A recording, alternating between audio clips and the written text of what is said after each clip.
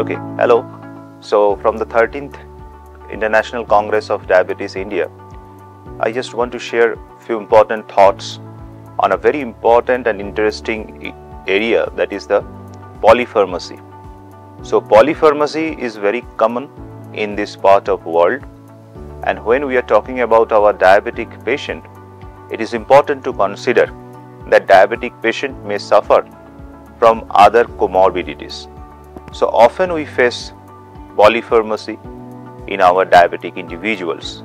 So to define polypharmacy, it is important to understand from the two point of view. Number one, the quantitative point of view and number two, the qualitative point of view. When we are talking about quantitative point of view, it is the number which matters and in each prescription, if there is 5 or more drugs, then we call it as polypharmacy.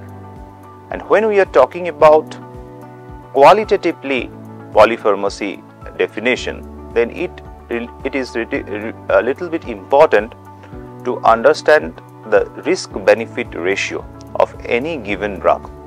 So, here we often use one terminology which is called as potentially inappropriate prescribing. So, what is that? If I am prescribing some drug that carries more risk than benefit, that is potentially inappropriate for my patient. So, we need to be little bit careful while prescribing, not only prescribing when we are getting prescription for other doctors that time when we are adding some new drug we need to be little bit more careful because there could be a possibility of duplication of the drug there could be a possibility of omission or rather a commission for particular drug so we need to be very careful on that issue and there is one terminology we often refer that is CPRRF. What is that? Clinical Pharmacological Reconciliation, Review and Feedback. So, when we are getting patients with multiple drug, it is our duty to follow the different principles of clinical pharmacology with that particular drug and according to that we may continue some drug, we may deprescribe some drug to achieve the maximum benefit for the patient.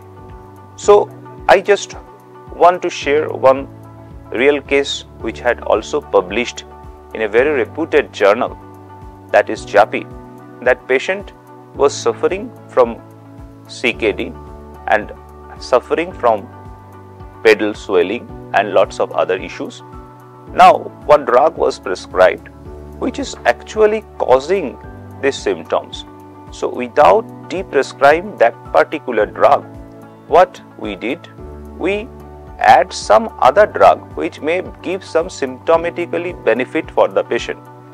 But adding that particular drug causing some another side effect like in this case the patient was given a diuretic which leads to hyponatremia and ultimately leading to hospitalization. So, it is our duty to identify drug induced disorder early so that this vicious cycle of prescribing cascade can be prevented. So, my take on this issue is we need to follow the principle of this CPRRF clinical pharmacological reconciliation, review and feedback specifically when our patients are elderly, when our patients are taking mul multiple medications. Thank you.